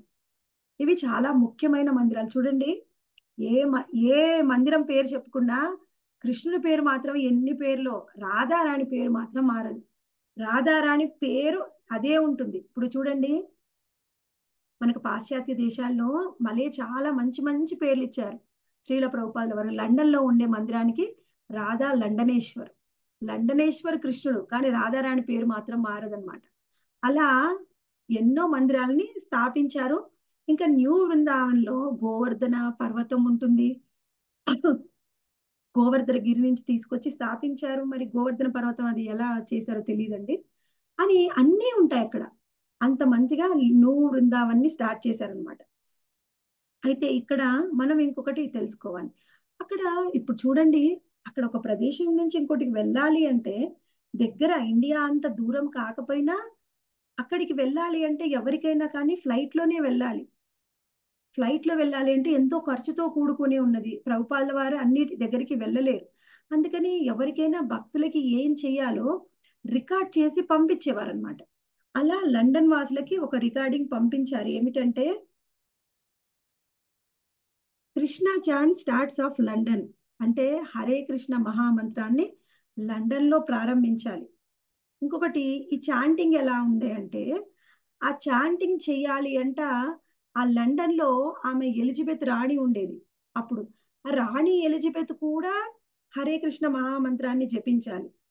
హరే కృష్ణ మహామంత్రాన్ని మనం జపిస్తూ ఉంటే ఈ హరే కృష్ణ మహామంత్రము మన నాలికపై నృత్యం చేస్తూ ఉంటుంది అని చెప్పేవారనమాట ఆ విధంగా రికార్డ్ చేసి పంపిస్తే ఆ రికార్డింగ్ని వాళ్ళ ఆయన భక్తులు ఉన్నారు కదండి ఆయన శిష్యులు అందరికీ కూడా వినిపించేవారు. అది వినిపించి ప్రచారం చేసేవారు. అంటే చూడండి ప్రభుపాద వారి గొంతులోనే ఎంతో మహత్తు ఉంది. మనము ఎంతో పవిత్రత ఉంటేనే ఆ గొంతు విన్న వాళ్ళకు కూడా భక్తి అనేది వస్తుంది. ఆయన్ని డైరెక్ట్గా చూసినా ఆయన పిక్చర్ చూసినా ఆయన రాసిన బుక్ చదివినా భక్తులు అవుతారు. కారణం అది ఆయనలో ఉన్న పవిత్రత. ఆ విధంగా ప్రభుపాదుల వారు ఈ ప్రచార కార్యక్రమంలో భాగంగా అనేక ప్రదేశాలకి తిరుగుతూ ఉన్నారనమాట అయితే ఎక్కడైనా ముందు ఎవరైతే ఆయన చెప్పేవారు సరి అయిన వాళ్ళనికి మీరు భక్తిని ప్రచారం చేయండి. ఎందుకంటే ఒక్కళ్ళు సరైన వాళ్ళు వచ్చినా వాళ్ళు సరిగ్గా ఆచరిస్తూ ఇంకో పది మందికి ప్రచారం చేస్తారు. కేవలం వచ్చి టైం పాస్ చేసే వాళ్ళు మనకి ఎంతమంది వచ్చినా ఏం లాభం ఉంటుంది అనేవారనమాట అలా ఆయన ప్రచారం చేస్తూ ఉంటే ప్రతి ఒక్కళ్ళని కూడా మన్ ముందుగా మందిరం యొక్క సేవలో లేకపోతే అక్కడ భగవంతుడికి భోగా సమర్పించడానికి మనము తయారు చేయాలి కదండి వంట చేయాలి కదా ఆ సేవల్లో ఎన్నో సేవలు ఉండేవి ఆ సేవల్లో బుక్ డిస్ట్రిబ్యూషన్ సేవల్లో వినియోగించుకునేవారు. ఎప్పుడైతే వాళ్ళు సీనియర్స్ అయ్యారో వాళ్ళందరినీ కూడా ప్రీచింగ్కి రెడీ చేసేవారు. ఆ విధంగా ఒక్కొక్క డివోటీని తయారు చేస్తూ ఉన్నారు. తెలియని కొత్త కొత్త ప్రదేశాలకి వాళ్ళని పంపిస్తూ ఉన్నారనమాట మీరు వెళ్ళండి అక్కడ ప్రచారం చేయండి అని. ఆ విధంగా శ్రీల ప్రభుపాదుల వారు ప్రచారం చేస్తూ ఉన్నారు. ఆ తరువాత ప్రభుపాదుల వారికి ఒక న్యూస్ వచ్చింది. ప్రభుపాదుల వారిని ఇన్వైట్ చేశారు. శాన్ ఫ్రాన్సిస్కోలో ఉన్న డివోటీస్. అక్కడికి ఎవరెవరు వెళ్ళారండి? శాన్ ఫ్రాన్సిస్కోకి ముకుంద ప్రభు మరియు జానకి మాతాజీ వెళ్ళారు ఫస్ట్లో. అక్కడి నుంచి ఇన్వైట్ చేశారనమాట ప్రభుపాదుల వారిని. ఇక్కడ మనం రథయాత్ర సెలబ్రేట్ చేసుకుందాము. రండి అని ప్రభుపాదుల వారిని ఇన్వైట్ చేశారనమాట ప్రభుపాల వారు ఆ శాన్ ఫ్రాన్సిస్కో వెళ్ళినప్పుడు ముందుగా ఎయిర్పోర్ట్లోనే అందరు కూడా భక్తులు ఆయన శిష్యులు ఎంతో మంది వచ్చి ఆయన్ని రిసీవ్ చేసుకుంటారు. ఆ రిసీవ్ చేసుకున్నప్పుడు ఎయిర్పోర్ట్లోనే ఎక్కడ ఉన్నాము అని ఎవ్వరు కూడా ఇప్పుడు చూడండి మనము ఎవరైనా డివోటీస్ని పలకరించుకోవాలన్నా పలకరించడానికి హరే కృష్ణ అనడానికి మొహమాటము. తిలక్ పెట్టుకోవడానికి మనకి మొహమాటం. ఎవరు చూస్తే ఏమంటారు? బాగున్నారా అంటాం కానీ అందరి ముందు డివోటీస్ ముందు అయితే హరే కృష్ణ. డివోటీస్ కాకపోతే హరే కృష్ణ లేదు. అంటే మనం అంతగా మొహమాట పడుతున్నాం. కానీ వాళ్ళు ఎలా ఉన్నారంటే అక్కడ ప్రభుపాల వారిని దర్శించుకున్న తర్వాత అక్కడ ఉన్న ప్రదేశం అంతా మొత్తం తడిచిపోయిందంట. అంటే మంచిగా వెట్టుగా అంటే మొత్తం తడిచిపోయింది అలా తడిచిపోయి ఉన్నా కానీ ప్రభుపాల వారిని ఎప్పుడు చూసారో? అప్పుడు వాళ్ళందరూ కూడా అక్కడే నేల మీద అందరూ కూడా దండవత్ ప్రణామం చేశారు. మేము ఎక్కడ ఉన్నాం? ఎటువంటి ప్రదేశంలో ఉంది అయ్యో మా డ్రెస్ అంతా తడిచిపోతుందని బాధ లేదు బురద ఉందని బాధ లేదు. ఎక్కడంటే అక్కడ దండవత్ ప్రణామం చేస్తున్నారు. అక్కడ ఎంతో మంది ఒక నలభై యాభై మంది భక్తులు వచ్చి శ్రీల ప్రభుపాదుల వారిని ఎంతో ఆదరంగా ఆయన్ని స్వాగతం పలికి ఆయన్ని తీసుకొని వెళ్తారనమాట అయితే అక్కడ ఎంతమంది వచ్చారంటే శాన్ ఫ్రాన్సిస్కో ఆ తర్వాత వాళ్ళందరినీ కూడా తీసుకొని వెళ్తారు. ఎంతో అందంగా వాళ్ళు రథాన్ని కూడా తయారు చేస్తారు. ఆ రథయాత్ర ఎంత వైభవంగా జరిగింది అంటే అయితే ఆ రథయాత్ర చేయడానికి రథాన్ని తయారు చేస్తుంటే వాళ్ళకి ఒక ఛాలెంజ్ వచ్చిందనమాట. ఏంటంటే ఆ ఛాలెంజ్ అక్కడ ఒక బ్రిడ్జ్ అనేది మధ్యలో అడ్డం వస్తుంది. ఆ బ్రిడ్జ్ దాటి వెళ్ళాలి అంటే ఈ ఈ రథయాత్రలో రథం పైన ఒక గోపురం ఉంటుంది కదండి. ఆ గోపురం ఎలా మరి? మనం చిన్న గోపురం చేస్తే అది చిన్నగా అవుతుంది. పెద్దగా చేస్తేనేమో అది దాని కింద నుంచి వెళ్ళలేదు. ఎలా? అని ఆయన వాళ్ళు అందరు కూడా భక్తులు ఆలోచిస్తుంటే ఒక భక్తుడు ఉన్నాడనమాట. ఆయన కొంచెం ఇంజనీరింగ్ టెక్నాలజీ తెలుసు ఆయనకి. ప్రభుపాదుల వారు మీరు టెన్షన్ పడకండి నేను చూసుకుంటాను అదే అది ఎలా చూసుకుంటావు నువ్వు? అంటే అది ఎప్పుడైతే ఆ బ్రిడ్జ్ దగ్గరికి వస్తుందో అప్పుడు ఆయన దాన్ని తిప్పుతారనమాట మొత్తము కూడా గోపురం అంతా కూడా ఫోల్డ్ అయిపోయి కిందికి వస్తుంది ఎప్పుడైతే ఆ బ్రిడ్జ్ దాటుతారో మళ్ళీ ఆయన తిప్పగానే అది ఫోల్డ్ అయిపోయి పైకి వస్తుంది ప్రభుపాల వారు ఫస్ట్ టైం అలా ఎప్పుడు అలా ఆయన చూడలేదు. ఆశ్చర్యపోతారనమాట ఇటువంటి చమత్కారము మనకి పూరి జగన్నాథుడికి కూడా జరగలేదే. ఆ శాన్ ఫ్రాన్సిస్కోలో ఉన్న ఈ న్యూ జగన్నాథ్కి జరిగింది అని చాలా సంతోషిస్తారు. తర్వాత అంటారనమాట మీ అమెరికా వాసులు ఏం చేయడానికైనా సిద్ధం మీరు ఏదైనా చేయగలరు. అని ఆయన్ని వాళ్ళని మెచ్చుకుంటారు. వాళ్ళందరూ కూడా చాలా ఆనందిస్తారు. అయితే వాళ్ళు అనుకుంటారు వాళ్ళ ఎక్స్పెక్టేషన్ ఏమిటి అంటే ఒక ఐదు వేల మంది వస్తారు అని. ఆ విధంగా ఐదు వేల మంది వస్తారు. ఆ తర్వాత వాళ్ళని చూస్తూ ఇంకొంతమంది వాళ్ళని చూస్తూ ఇంకొంతమంది మొత్తం పదివేల మంది భక్తులు అక్కడ మొత్తం పదివేల మంది భక్తులు అవుతారు. వాళ్ళు తయారు చేసిన ప్రసాదమేమో ఐదు వేలకు మాత్రమే. ఆ విధంగా పదివేల మంది భక్తులు వస్తారు. అసలు అందరూ కూడా భక్తులు మరియు ఆ శ్రీల ప్రభుపాల వారు వాళ్ళందరూ కూడా ఎంతో సంతోషిస్తారు. ఎంతో సక్సెస్ఫుల్ అవుతుంది అక్కడ రథయాత్ర. ఆశ్చర్యపోతున్నారనమాట అక్కడ వాళ్ళందరూ కూడా. ఏమిటి హిందువులు చేసే ఈ రథయాత్ర? ఎంత పాపులర్ అయింది ఎంత బాగా సక్సెస్ అయింది అని. ఆ విధంగా కీర్తన జరుగుతూ ఉంటే ఇప్పుడు చూడండి మనం ఏదైనా ఒక ప్రోగ్రాం జరిగింది అంటే ఫస్ట్లో స్టార్టింగ్లో కొంతమంది ఉంటారు.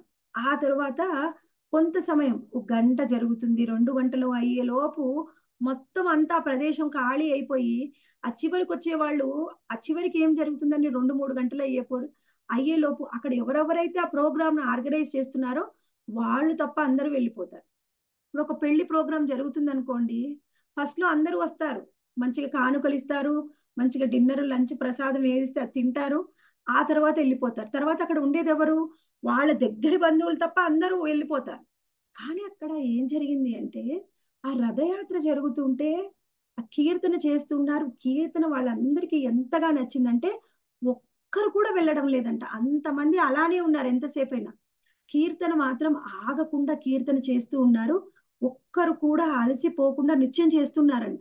ఆ నృత్యం ఎలా జరుగుతుందంటే ఏదో నృత్యం చేస్తున్నారని కదండి. ఆ కీర్తనతోని ఎంతో ఉత్సాహంతో ప్రతి ఒక్కళ్ళు కూడా హరే కృష్ణ మహామంత్రాన్ని జపిస్తూ కీర్తిస్తూ ఉన్నారు.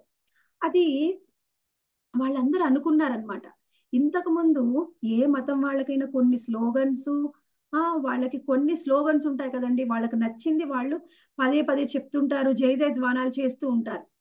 కానీ వాళ్ళు ఇంతకు ముందు ఏం చేశారో కానీ అది ఏదో ఒక నిమిషము రెండు నిమిషాలు పది నిమిషాలు ఆ ఉత్సాహం ఉంటుంది. ఆ తరువాత ఉత్సాహం అనేది తగ్గిపోతుంది. కానీ హరే కృష్ణ మహామంత్రం యొక్క మహత్తి ఏమిటో కానీ అసలు ఎవరి ఉత్సాహం తగ్గడమే లేదే. ఎవరు ఉత్సాహము తగ్గడం లేదు ఎవరు కూడా అక్కడి నుంచి వెళ్ళడం లేదు. నృత్యం చేస్తూ ఉన్నారు కీర్తన చేస్తూ ఉన్నారు అలా సాగుతూనే ఉందన్నమాట రథయాత్ర. అటువంటిది హరే కృష్ణ మహామంత్రం యొక్క మహత్ అనేది ఆ విధంగా ఉంటుంది. ఇప్పుడు అది ఏ విధంగా ఉంటుంది అంటే మనం అది మాటల్లో వర్ణించలేము. అది ఆ మంత్రంలోనే ఆ మహత్తు ఉంది అని చైతన్య మహాప్రభుయే స్వయంగా చెప్పారు. మీరు ఆ మంత్రాన్ని జపించండి. మిరాకిల్స్ ఆటోమేటిక్గా అవి జరిగిపోతాయి. ఎలా అనేది మనకు కూడా తెలియదు ఆ మంత్రంలోనే ఆ గొప్పతనం ఉందన్నమాట. అందుకని ఎన్నో వేల మందిని అక్కడ ఒకే దగ్గర కట్టిపడేసింది హరే కృష్ణ మహామంత్రం. ఎప్పుడైతే ఈ శాన్ ఫ్రాన్సిస్కోలో ఎంతో బాగా సక్సెస్ అయింది ఆ విషయాన్ని అక్కడ మిగిలిన అన్ని సెంటర్స్లో ఉన్న డివోటీస్కి కూడా శ్రీల ప్రభుపాదుల వారు లెటర్స్ ద్వారా చెప్తారు. ఆ తరువాత శ్రీల ప్రభుపాదుల వారు వెళ్తారు లండన్కి అది ఏ విధంగా జరిగింది అనేది మనం ఇప్పుడు చూద్దాం. ఇప్పుడు లండన్కి ఎవరెవరు వెళ్ళారండి? ముగ్గురు ముగ్గురు గృహస్థ జంటల్ని పంపించారు ప్రభుపాల వారు. ఆ ముగ్గురు కూడా వాళ్ళకి పాపం ఉండడానికి ఒక సరి అయిన ప్రదేశం లేదు. ఒక సరి అయిన ప్రదేశం ఉంటే ఎంతో బాగా ప్రచారం చేయగలిగేవాళ్ళు సరైన ప్రదేశం లేదు అందుకని ఒక్కొక్కరు ఒక్కొక్క దగ్గరగా ఉంటూ ప్రచారం కొనసాగిస్తూ ఉన్నారు కాబట్టి కొంచెం స్లోగా ప్రచారం జరుగుతూ ఉందన్నమాట. అప్పుడు ఏం జరిగింది అంటే అక్కడ ఒక ఫేమస్ ఆ మ్యూజికల్ బ్యాండ్ ఉంది. అది ఏమిటంటే George Harrison musical band. George Harrison ఎంత ఫేమస్ ఆ రాక్ బ్యాండ్ అనమాట ఫేమస్ రాక్ బ్యాండ్ అంటే ఆయనది. మొత్తం అమెరికా అంతా ఫేమస్. అలాగది లండన్. లండన్ అంతా కూడా ఫేమస్ అది. అంత ఫేమస్ మ్యూజికల్ బ్యాండ్. ఆయనకి ఈ హరే కృష్ణ డివోటీస్ ఉన్నారు కదండి మన డివోటీస్. ఈ ఆయనకి ఆయన ఇష్ట ఇష్టాలు ఏమిటో తెలుసుకున్నారు ఆయనకి ఏం ఏమిటంటే ఆయనకి యాపిల్ పై అంటే చాలా ఇష్టం అంట అంటే యాపిల్ పై అంటే యాపిల్ తోని తయారు చేసిన ఒక కేక్. ఆయనకు చాలా ఇష్టమని ప్రతిరోజు దాన్ని తయారు చేసి దాని మీద హరే కృష్ణ అని రాసి వాళ్ళ ఇంటికి పంపించేవారు. ఎందుకంటే ఆయనకి తెలియాలి ఎవరు పంపిస్తున్నారు అని. ఆయనకి ఇష్టమైంది. ప్రతిరోజు కూడా పంపించేవారు అనమాట అలా పంపించిన తర్వాత మళ్ళీ ఒకరోజు దాన్ని స్టాప్ చేశారు. ఇప్పుడు చూడండి ప్రతిరోజు మన కోసం ఎవరో ఏదో పంపిస్తున్నారు. చాలా రోజుల తర్వాత ఎవరైనా అది మనకి చేరకపోతే ఎలా అంటుంది? ఎవరిది పంపించేది? ఇన్ని రోజులు ఎందుకు పంపించారు? ఈ రోజు ఎందుకు రాలేదు నాకు? అనే ఎంతూజియాజం వస్తుంది కదా. ఆయనకి ఆ ఎంతూజియాజమే వచ్చింది. ఇంకొకటి ఏమిటి అంటే హరే కృష్ణ అనేది రాసి చూస్తున్నారు కదా. శ్రీల ప్రభుపాదుల వారు అంతకుముందు హరే కృష్ణ మహామంత్రాన్ని రికార్డ్ చేసి పెట్టారు. అది చాలా ఫేమస్ అయింది ఆ రికార్డింగ్ అని తెలుసుకున్నాం కదా. ఆ రికార్డింగ్ ఆయన వినేవారంట. ఎక్కువగా వినేవారు జార్జ్ హ్యారిసన్ ఎందుకంటే ఆయనకి చాలా నచ్చింది. ఆయన తర్వాత భక్తులతో చెప్పారు ఈ గొంతు ఉంది కదా మీ స్వామీజీ గొంతు ఈ గొంతు సామాన్యమైంది కాదు. ఈ గొంతు ఇక్కడి గొంతు కాదు. ఈ లోకానికి సంబంధించిన గొంతు కాదు అని చెప్తారనమాట ఎందుకంటే వాళ్ళందరూ కూడా సంగీత విద్వాంసులు. వాళ్ళందరికీ తెలుస్తుంది ఎవరి గొంతు ఎలా ఉంది ఎవరి గొంతు ఆ మనకి మ్యూజిక్కి పనికి వస్తుంది ఎవరిది పనికి రాదు అని. ఏమిటి వాళ్ళు చెప్పగలరు? ఎవరి గొంతు ఎంత గొప్పది అని. అందుకని ఒకసారి ఎవరిదైనా పాట వింటే వాళ్ళకి నచ్చింది అనుకోండి వాళ్ళతోనే పాటలు పాడించుకుంటూ ఉంటారు. అలా ఆయనకి తెలిసింది ఈ హరే కృష్ణ వాళ్ళు అని ఆయన తర్వాత వాళ్ళని కలుసుకుంటారనమాట కలుసుకొని వాళ్ళతోని మూడు గంటలు చర్చిస్తారు. చూడండి ఎలా అంటే ఈ ఈ ఐడియా కూడా మొత్తం ప్రభుపాద వారు ఇచ్చిన ఐడియానే అనమాట ప్రతిరోజు యాపిల్ పై పంపించడము ఆయనతోని ఆ విధంగా రిలేషన్షిప్ పెరుగుతుంది. హరే కృష్ణ వాళ్ళ గురించి తెలుసుకొని ఆయనే వాళ్ళ ఇంటికి ఇన్వైట్ చేసి వాళ్ళతోని దాదాపుగా రెండు మూడు గంటలు చర్చిస్తారనమాట చర్చించినప్పుడు ఆయన వాళ్ళ చర్చలో భాగంగా ఆయన తెలుసుకుంటూ ఉన్నారు. ఎందుకంటే ఆయనకి కొంత ఉత్సాహం ఆయనకు కొంత ఉంది తెలుసు ఆయనకి జ్ఞానం. ఇండియా నుంచి ఎంతో మంది స్వామీజీలు వచ్చారు. వాళ్ళందరూ కూడా ఒక్కొక్కరు ఒక్కొక్క విధంగా చెప్తూ ఉంటారు. భగవంతుడే అన్ని భగవంతుల్లోనే అందరూ కూడా మనకి భగవంతుడికి ఎంత శక్తి ఉందో మనకి అంతే ఉంది. ఎప్పుడైతే మనం తెలుసుకుంటామో మనలో ఉన్న శక్తిని మనం కూడా భగవంతుల్లో ఐక్యం అయిపోవచ్చు అప్పుడు భగవంతుడి శక్తితోని మన శక్తి సమానం అవుతుంది ఇలాంటివన్నీ విన్నాడు ఇన్ని రోజులు. కానీ ఇప్పుడు వీళ్ళేం చెప్తున్నారు ఈ భక్తులు? ఈ హరే కృష్ణ డివోటీస్ ఏం చెప్తున్నారంటే హరే కృష్ణ మా యొక్క కృష్ణ చైతన్యం ఏమిటి అంటే మేము ఎప్పుడూ కూడా భగవంతుడిమి కాము. భగవంతుడు శ్రీకృష్ణ భగవానుడు. మేము ఆయన యొక్క సేవకులం. ఆయన యొక్క సేవకుల యొక్క సేవకుల యొక్క సేవకులము. అవునా? ఇలాంటిది అసలు నేను ఇప్పటి వరకు ఎప్పుడు విననే లేదే. సేవకుల యొక్క సేవకుల యొక్క సేవకులు. అంటే మీరు భగవంతుల్లో ఐక్యమైపోరు. భగవంతుడు లాంటి శక్తి పొందాలి అని అనుకోరు. భగవంతుడు నేను ఒకటి అని చెప్పరు. భగవంతుడు దేవాది దేవుడు శ్రీకృష్ణ భగవానుడు. ఆయన యొక్క సేవకుల యొక్క సేవకుల యొక్క సేవకుడు. అంటే ఆ భావంతోనే ఉండాలా ఎవరైనా భక్తుడు అనేవాడు? అదొక్కటే కాకుండా ఇంతవరకు భగవంతుడికి ఒక రూపం ఉంది అని చెప్పిన వారే లేరు. కానీ మొదటిసారి మనకి శ్రీమద్ భాగవతంలో భగవద్గీతలో ఏం చెప్తారంటే భగవంతుడు ఎవరు? ఆయన అస్తిత్వం ఏమిటి? భగవంతుడి యొక్క రూపురేఖలు ఏమిటి? ఇంకా ఆ తర్వాత శ్రీల ప్రభుపాదుల వారు ఆ సమయానికి భగవద్గీత భాగవతం ఫస్ట్కి అంటూ ప్రింట్ అయ్యాయి కదండి. ఆ అందులో ప్రభుపాదుల వారు శ్రీకృష్ణ భగవానుడి పిక్చర్స్ కూడా ఉంటాయి. మీరు మొదటి స్కందం చూస్తే అందులో కృష్ణ పిక్చర్స్ చాలా ఉంటాయి. అది చూసి కృష్ణుణ్ణి చూసి ఆయన ఎవరు ఈ బాబు? ఇంత చిన్నగా ఉన్నాడు. కానీ ఇంత ఆకర్షణీయంగా ఉన్నాడేమిటి? ఇంత ఆకర్షణీయమైన వ్యక్తిని నేను ఇంతవరకు చూడలేదు. ఇంత చిన్న బాబులో ఇంత చిన్న వ్యక్తిలో ఇంత ఆకర్షణీయత ఎక్కడి నుంచి వచ్చింది? ఎవరు ఈయన అనే ఉత్సాహం పెరిగిందంట ఆయనలో. చూడండి అటువంటిది భగవంతుడి యొక్క సౌందర్యం అనేది అటువంటిది.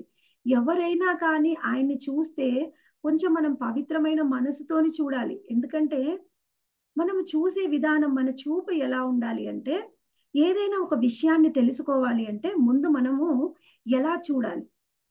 మనకి నేను అనేక సార్లు ఈ కథని చెప్తూ ఉంటాను. ఏమిటంటే ఒక సంగీత విద్వాంసుడి దగ్గరికి కొందరు శిష్యులు వెళ్ళారు. ఒక శిష్యుడు చెప్పాడు నాకు అసలు ఏమీ తెలియదు గురువుగారు నేను మొదటిసారి మీ దగ్గర నేర్చుకోవడానికి వచ్చాను. అయితే వెంటనే ఆ శిష్యుడిని స్వీకరించాడు. ఇంకొకసారి ఇంకొకడు ఇంకొక అతను వచ్చాడు నాకు కొంత ప్రవేశం ఉందండి ఉందండి సంగీతంలో నాకు అవి వచ్చు ఇవి వచ్చు ఇవి వచ్చు కానీ ఇంకా నేను నేర్చుకోవాలనుకుంటున్నాను. అంటే ఏం చెప్పాడంటే ఆయన్ని నువ్వు వద్దు ఫస్ట్ వచ్చిన వ్యక్తిని మాత్రం తీసుకున్నాడు. అదేమిటండి? సంగీతంలో కొంత ప్రవేశం ఉంది.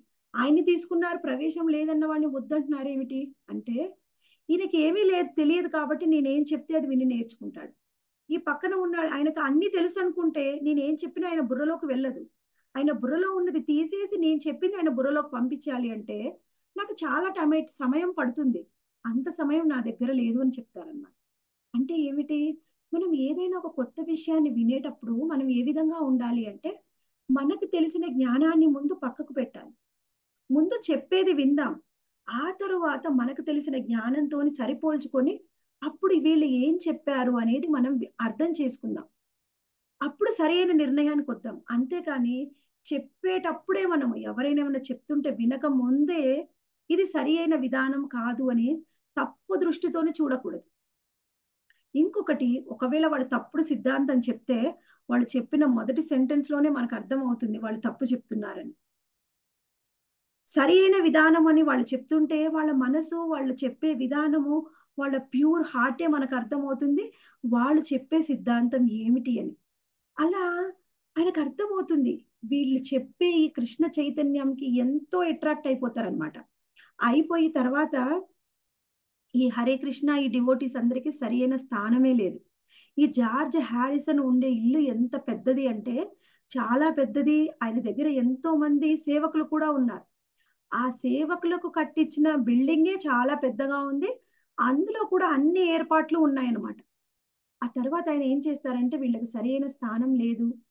లండన్ ఇంత పెద్ద ప్రదేశంలో వీళ్ళు ఎలా ఉండగలరు అని వాళ్ళ సేవకులు ఏ క్వార్టర్స్లో ఉంటున్నారో ఆ క్వార్టర్స్ ఈ డివోటీస్కి అలాట్ చేస్తారనమాట మన జార్జ్ హ్యారిసన్ ఆ విధంగా మొదటిసారి వాళ్ళకి లండన్లో ఉండడానికి ఒక మంచి ప్రదేశం అనేది దొరికింది. అయితే ఇప్పుడు ఏం చేస్తున్నారు వాళ్ళు? అప్పుడు మంచిగా అందరూ కలిసి ఒకే దగ్గర ఉండి భక్తులందరూ కలిసి ప్రచారాన్ని కొనసాగిస్తున్నారు. వీళ్ళు కూడా సహాయం చేస్తున్నారు. అప్పుడు అనుకుంటారనమాట అయ్యో ఇన్ని రోజులు మనకు సరైన స్థానమే లేదు. అందుకని మనం శ్రీల ప్రభుపాదుల వారిని ఆహ్వానించలేదు లండన్కి ఇప్పుడు మనకు ఉండడానికి సరైన స్థానం ఉంది కదా. ఇప్పుడు ఎలా అయినా సరే శ్రీల ప్రభుపాదుల వారిని ఆహ్వానించాలి అని నిర్ణయం చేసుకుంటారు. అయితే ఎప్పుడైతే ఈ భక్తుల్ని కలుస్తారో ఆయన జార్జ్ హ్యారిసన్ ఒక మంచి ఆ ఒక మంచి ఒక పాపులర్ ఒక కీర్తన చేస్తారనమాట అది మనకు కీర్తన వాళ్ళకి ఒక మంచి ఆల్బమ్. ఆ ఆల్బమ్ పేరు ఏం పెడతారంటే ఆయన? Lord who is so long ignorant. అంటే ఓ భగవంతుడా నీ మేము అందరం కూడా ఎంతో కాలం నుంచి అజ్ఞానంలో ఉన్నాము అని ఒక టైటిల్ పెట్టి ఒక మంచి కీర్తన చేసి దాన్ని రిలీజ్ చేస్తారు. ఆ కీర్తన ఎలా ఉంటుంది అంటే అది ఇప్పుడు వీళ్ళందరూ సంగీత విద్వాంసులు కదండి. వాళ్ళు మరియు మన హరే కృష్ణ భక్తులు అందరూ కలిసి కీర్తన చేస్తారనమాట అందులో ఈ జార్జ్ హ్యారిసన్ ఏమో మౌత్ ఆర్గన్ అంటే ఇలా ఉంటుంది ఇలా ఇలా నోట్లో పెట్టుకొని వాయిస్తూ ఉంటారు. ఆ వెనకట మేము చూసేవాళ్ళం వాళ్ళం అనమాట చిన్నప్పుడు. ఆ విధంగా ఆయన మౌత్ ఆర్గన్ ప్లే చేస్తూ ఉన్నారు. యమునా మాతాజీ ఏమో ఎంతో అందంగా కీర్తన చేస్తూ ఉన్నారు. అంటే ఆమె పాడుతూ ఉన్నారనమాట శ్యామ్ సుందర్ ప్రభుజీ ఏమో వెనకాల బ్యాక్గ్రౌండ్ వాయిస్ ఇస్తున్నారు. మాలతి మాతాజీ ఏమో అది ఇలా చూడండి మనం ప్రెస్ చేస్తే గ్యాంగ్ అని ఇలా సౌండ్ వస్తుంది. మనము ఇక్కడ కూడా మనము చాలా సార్లు యూజ్ చేస్తూ ఉంటాం చాలా మంది కీర్తన చేస్తూ ఉంటే. అలా అందరూ కూడా వాయిస్తూ అందరూ కలిసి కీర్తన చేస్తారు. అయితే అది రికార్డింగ్ పూర్తవగానే జార్జ్ హారిసన్ ఎంతో సంతోషిస్తారు అనమాట ఎంతో చాలా బాగా వచ్చింది కీర్తన నాకు చాలా నచ్చింది అని. అది ఆయన తర్వాత ఎడిటింగ్ చేసి ఆ తర్వాత రిలీజ్ చేస్తాడు. అది ఎంత ఎంత బాగా సక్సెస్ అవుతుందంటే మొదటి మొట్టమొదటి రోజే డెబ్బై వేల కాపీలు అమ్ముడుపోతుంది. ఇప్పుడు కాదండి ఇప్పుడే డెబ్బై వేలు అంటే చాలా ఎక్కువ. ఒకప్పుడు డెబ్బై వేల కాపీలు అమ్ముడిపోవడం అంటే చాలా ఎక్కువ సక్సెస్ అన్నమాట. అది మొదటి వారంలో ఇరవయో స్థానంలో ఉంటుంది. ఇంకొక వారం పోయి తర్వాత రెండవ వారంలోకి వచ్చేలోపు అది మొదటి మూడు స్థానాల్లోకి వస్తుంది అనమాట ఆ తర్వాత మూడో వారంలో ఫస్ట్ ర్యాంక్ అంటే ఏమిటి? ఆ సమయంలో ఎక్కువగా ఈ రాక్ బ్యాండ్ మ్యూజిక్ ఆల్బమ్స్ కొంటారు కదండి. అంటే ఏమిటి? మన భాషలో ఇప్పుడంటే సిడి డివిడీలు కొంటారు కదా. అలా అన్ని కాపీస్ కొన్నారనమాట. అలా నెంబర్ వన్ స్థానంలోకి వస్తుంది. ఆ రికార్డింగ్ అనేది. అది విని శ్రీల ప్రభుపాదుల వారు ఎంతో ఆనందిస్తారనమాట. ఈ జార్జ్ హ్యారిసన్ ఆయన ఎంతో తెలివి గల్లవాడు మళ్ళీ ఆయనకి కల్చర్ తెలుసు. ఆయనకు అన్ని ఒకటి చెప్పగానే విని అర్థం చేసుకుని ఆచరించే గుణం ఉంది ఆయనకి అని ఎంతో మెచ్చుకుంటారనమాట ఆ సక్సెస్ విని ప్రభుపాదుల వారు కూడా ఎంతో ఆనందిస్తారు. అదే సమయంలో మన భక్తులు కూడా శ్రీల ప్రభుపాదుల వారిని ఆహ్వానిస్తారు. మొట్టమొదటిసారి లండన్కి వెళ్తారనమాట ఆ విధంగా ఇప్పటికే ప్రభుపాదుల వారు వెళ్ళక ముందే లండన్లో ప్రభుపాదుల వారు ఫేమస్ అయిపోయారు. హరే కృష్ణ భక్తులు కూడా ఫేమస్ అయిపోయారు. ఇప్పుడు మొదటిసారి లండన్కి వెళ్తున్నారు శ్రీల ప్రభుపాదుల వారు. శ్రీల ప్రభుపాదుల వారికి ఆ లండన్ ఎయిర్పోర్ట్ నుంచి ఆయన జార్జ్ హ్యారిసన్ ఉండే ఆ భవనం ఉంటుంది కానీ ఆయన ప్యాలెస్ దగ్గరికి వెళ్ళే లోపు అసలు ఎంత గ్రాండ్ వెల్కమ్ చేస్తారంటే ఒక విఐపి ఇప్పుడు చూడండి విఐపి అంటే ఒక వేరే దేశం నుంచి వేరే కంట్రీ ఒక ప్రధాని కానీ ప్రధానమంత్రి కానీ రాష్ట్రపతి కానీ వెళ్తే ఎలా రిసీవ్ చేసుకుంటారు? విఐపి వెల్కమ్ అనమాట అంత విఐపి వెల్కమ్ ఇస్తారు ప్రభుపాదుల వారికి. భక్తులందరూ కూడా ఎయిర్పోర్ట్ కే వచ్చి ఆయన్ని ఆహ్వానించి తర్వాత తీసుకుని వెళ్తారు. ఎప్పుడైతే ప్రభుపాదుల వారు ఎయిర్పోర్ట్లో వాళ్ళని చూశారో ఆయన చాలా సంతోషిస్తారు. మొత్తం ఎయిర్పోర్ట్లోని అందరు భక్తులు ఆయనకి దండవత్ ప్రణామం చేసేస్తారు. అందరూ కూడా ఆశ్చర్యపోతారనమాట ఎవరు ఈ స్వామీజీ?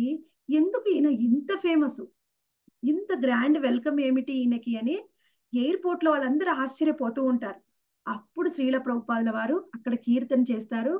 ఆ కీర్తనకి అందరు కూడా మైమర్చిపోయి భక్తులందరూ కూడా నృత్యం చేస్తారనమాట అక్కడ కీర్తన నృత్యము చాలాసేపు కొనసాగుతుంది. అక్కడకు వచ్చిన ఎయిర్పోర్ట్కు వచ్చిన ప్రతి ఒక్కళ్ళు కూడా అందులో ఇన్వాల్వ్ అవుతారు.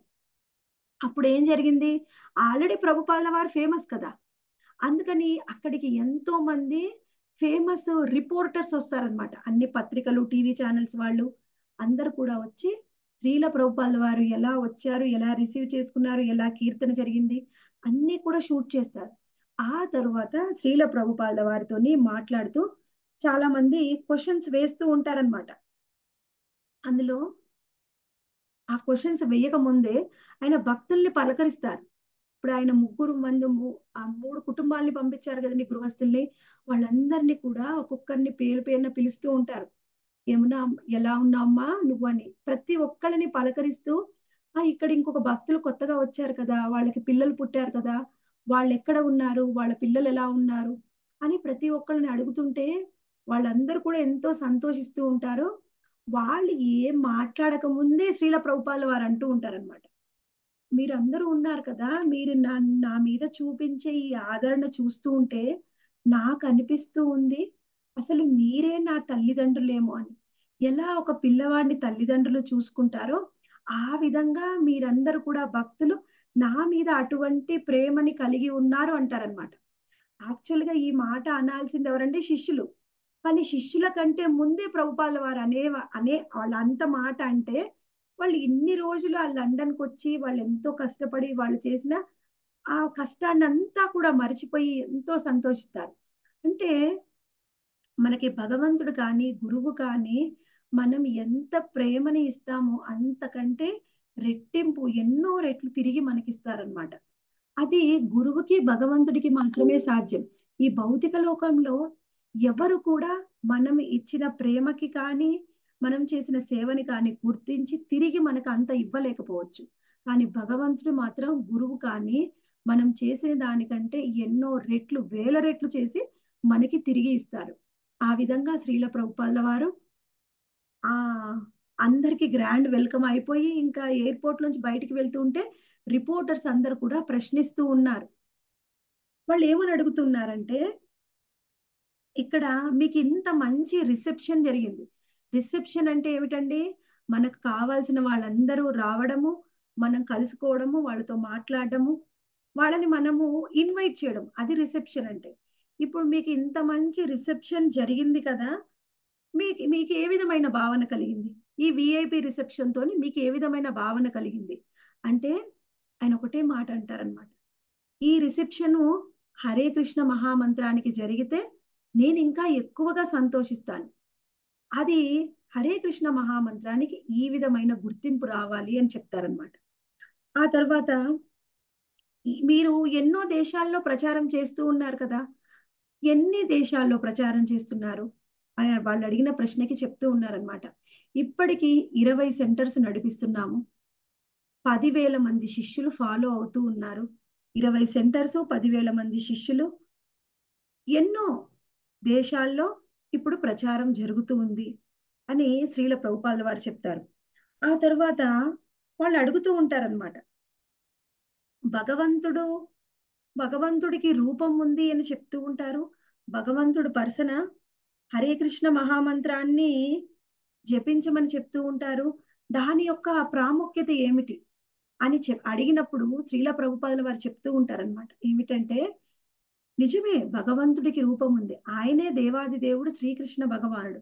ఆయన నామాన్ని జపించడం వల్ల ఇప్పుడు ప్రతి ఒక్కరిలో భగవంతుడు ఉంటాడు పరమాత్మ రూపంలో. ఎవరైతే హరే కృష్ణ మహామంత్రాన్ని భక్తితోని జపిస్తారో వాళ్ళ హృదయంలో ఉన్న పరమాత్మ దర్శనం వాళ్ళకి జరుగుతుంది అని. అంటే మీరు ఎవరైతే హరే కృష్ణ మహామంత్రాన్ని జపిస్తారో మీరందరూ కూడా ఫేస్ టు ఫేస్ భగవంతుణ్ణి దర్శించుకోవచ్చు. అంత అర్హతని సంపాదిస్తారు అని చెప్తారనమాట అలా అని మనం దర్శించుకోవడం కోసం హరే కృష్ణ మహామంత్రాన్ని జపించకూడదండి. మనం భగవంతుణ్ణి ఆర్తితోని భక్తితోని పిలవాలి. హరే కృష్ణ మహామంత్రాన్ని జపించడం అంటే ఏమిటి అంటే మనం భక్తి శ్రద్ధలతోని భగవంతుణ్ణి పిలవడం. అదే హరే కృష్ణ మహామంత్రాన్ని జపించడం. ఆ విధంగా హరే కృష్ణ మహామంత్రాన్ని జపిస్తూ ఉన్న తర్వాత ఆయన చెప్తూ ఉంటారు మీరే కదా చెప్పారు మీరు ఎలిజబెత్ రాణిని కూడా హరే కృష్ణ మహామంత్రాన్ని జపించమని అంటే అవునండి నే హరే కృష్ణ మహామంత్రం జపించడమే ఎవరికైనా ఉత్తమం అది ఎవరికైనా సామాన్యులకైనా లేకపోతే ఈ దేశాన్ని వెళ్ళే రాజులకి రాణులకైనా సరే. హరే కృష్ణ మహామంత్రాన్ని మించింది లేదు అని చెప్తూ ఉంటారు. అప్పుడు శ్రీల ప్రభుపాల వారిని అక్కడి నుంచి రిసీవ్ చేసుకొని తిరిగి మళ్ళీ ఈ జార్జ్ హ్యారిసన్ ఇంటికి తీసుకొని వెళ్ళడానికి జాన్ లెనిన్ ఆయన కూడా వాళ్ళ కుటుంబ సభ్యుడే. ప్రభుపాల వారి వారి కోసం రాల్స్ రాయిస్ కార్ని పంపిస్తారనమాట అంటే ఆ కార్ అనేది ఎంతో ఖరీదైంది. ఎంత ఖరీదైన కార్ అంటే అప్పుడు ఉన్న సమయంలో అత్యంత ఖరీదైన కార్ని శ్రీల ప్రభుపాల వారి కోసం పంపిస్తారు. అయితే అక్కడ ఉన్న ఒక రిపోర్టర్ అడుగుతారనమాట మీకోసము రాల్స్ రాయిస్ కార్ని పంపించారు కదా మీకేమనిపిస్తుంది దీన్ని చూస్తూ ఉంటే? మీరు చాలా సంతోషంగా ఉన్నారా? అని అడుగుతారు. అప్పుడు ప్రభుపాల వారు చెప్తారు నేను ఎవరిని అంటే భగవంతుడి యొక్క ప్రతినిధిని. భగవంతుడి యొక్క ప్రతినిధిగా నేను ఇక్కడికి వచ్చాను. అటువంటి భగవంతుడి ప్రతినిధికి ఈ రాల్స్ రాయిస్ కారు కాదు కదా బంగారంతోని కారు పంపించిన అది కూడా తక్కువే. కాకపోతే మీరు టిన్ కార్ని పంపించారు. టిన్ అంటే ఏమిటంటే రేకు. రేకు డబ్బానే కదా కార్ అంటే మీరు ఒక రేకు డబ్బా పంపించారు.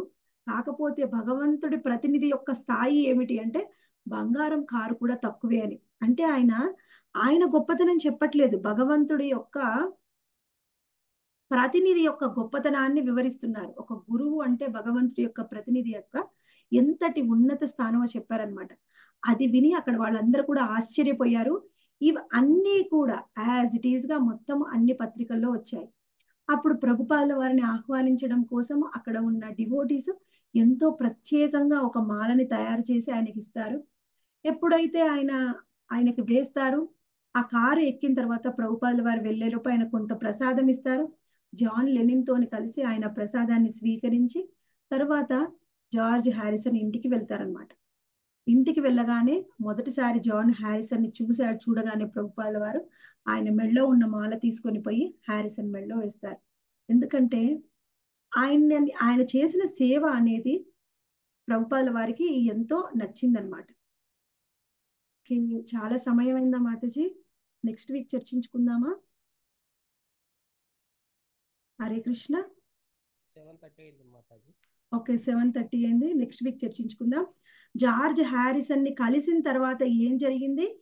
జార్జ్ హ్యారిసన్కి ఏ విధమైన ఇన్స్ట్రక్షన్స్ ఇచ్చారు ప్రభుపాల వారు? అసలు ఆయన కలిసిన తర్వాత మొట్టమొదటిగా ప్రభుపాదుల వారు ఏం చెప్తారంటే ఆయన అలా ముగ్ధుడైపోయి ప్రభుపాదుల వారు ఏం చెప్పారో విని. ఆయన చెప్పింది ఉన్నది ఉన్నట్టుగా ఆయన జీవితంలో ఆచరిస్తారు. అది ఏమిటి అనేది మనము వచ్చే వారం తెలుసుకుందాము. ఏం చెప్పారు శ్రీల ప్రభుపాదుల వారు? జార్జ్ హారిసన్కి అనేది. హరే కృష్ణ డివోటీస్ ఈ రోజు మీకు ఏం నచ్చింది?